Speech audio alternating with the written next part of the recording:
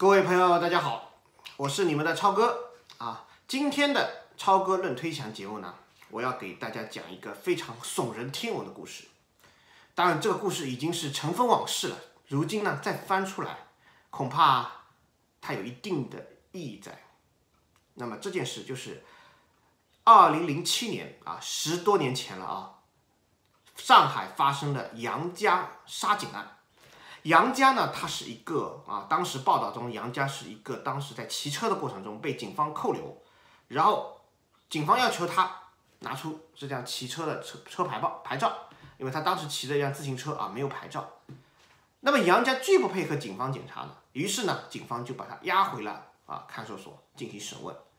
之后呢，杨家放出来以后呢，对警方那天啊对他这种暴力的审问呢，有种心存不满。几天后呢？就用刀捅死了五个警察。那么这件事情呢，当时媒体呢一边倒的就是站在警方一边，然后说警方呢五个死的人是英雄啊。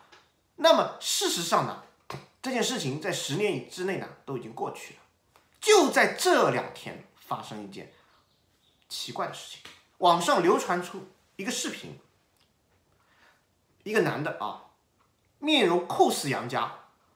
坐在一个一个呃椅子上，看守所的椅子上，双手被捆绑，下半身裸露。一个警察拿着高压电棍去电他的生殖器，电到生殖器那一瞬间，那杨家大声的呻吟，痛哭。这种感觉，这种事情谁谁能做出来？我不敢相信。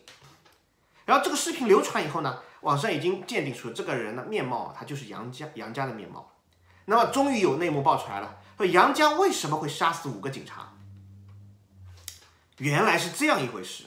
当天下午啊，杨家在骑车啊路过上海闸北区某路口的时候呢，受到一个警方的拦截，问他要你这个自行车为什么没有挂牌照？因为上海当时啊要求自行车挂牌照。那么杨家作为一个外地务工人员，他没有挂牌照也是正常的，因为。嗯，他们为了生活奔波嘛，没有那么多时间去做这个，对吧？你警方好好去教育他们就行了，啊，下次让他补上就。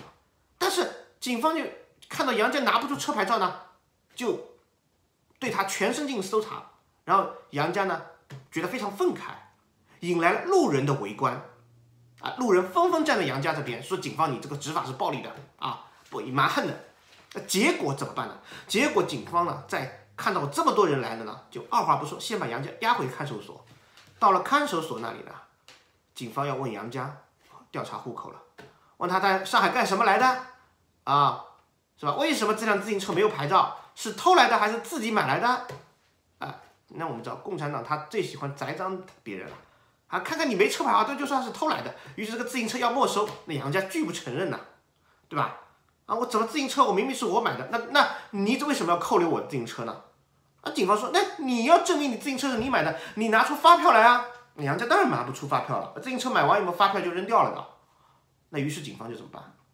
啊，就想到了这个，我们不会想到这个酷刑，去刑讯逼供，说这个自行车是不是偷来的啊？让他下半身裸露，用高压电棍电这个生殖器。但是这么一电啊！这个杨家再也没有了生育能力，在放放出看守所以后，他发现他的下身呢就不能勃起，然后也上厕所时撒尿啊，排尿都受到影响。当时这个杨江他是怎样一个人呢？没有结婚啊，没有女朋友，他的未来人生还很长啊，更不用说有有有没有孩子了。对于一个这样年轻人来说，他能接受吗？很明显，他父母。就要求这个警方进行赔偿，那警方怎么说呢？不用赔，这不是我的责任，我不知道啊。于是那个父母啊，他们父母就闹到警局去了。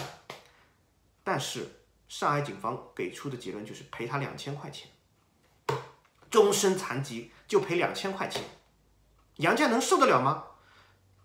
作为这样一个结局之后，就警方一直控制他，打压杨家，看他继续要上访啊，就打压他，监控他。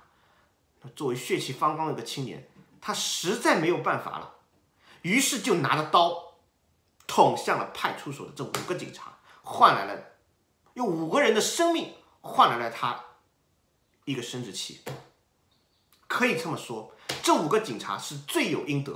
但是真正罪有应得的，啊，更罪有应得的是中共这个体制。这个体制可以把人变成一个魔兽，啊，他人自己失去了灵魂，居然用这样的酷刑啊折磨一个仅仅犯了没车牌照的，甚至连犯法都算不上的一个普通的外来务工者。那么上海的警察，你做的这些行为，你配得上你这个国际大都市的称号吗？这就是杨家案的真相。可是随着时间的推移，大部分人都不知道杨家案是怎么发生的，以为杨家他就是个偏执狂，他就是要杀警察。那么这只是中共所有作恶当中的一小小成分，中共他做的恶实在太多了，他讲也讲不完。但是，他总有一天会被人民清算，这一天很有可能在二零一八或者二零一九年。正是因为川普总统会对他发起贸易战。在中共这种对内人民极力洗脑、言论控制、老百姓已经不知是非的情况下，老百姓只有自己的切身利益受到损失了，他才会站起来。什么叫自己利益损失的？